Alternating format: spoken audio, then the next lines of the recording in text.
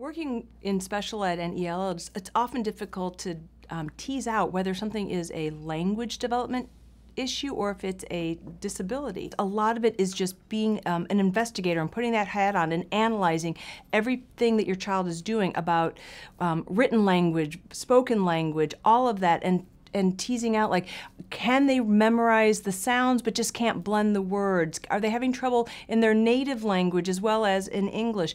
Talking to the parents and gathering information. And then as you go along um, i would say just to move slowly and carefully through the special ed process we don't want to over identify that's not fair to anyone. But we do want to make sure that our ELL students who are do have special needs get caught early enough that they can get the interventions that um, they are legally entitled to.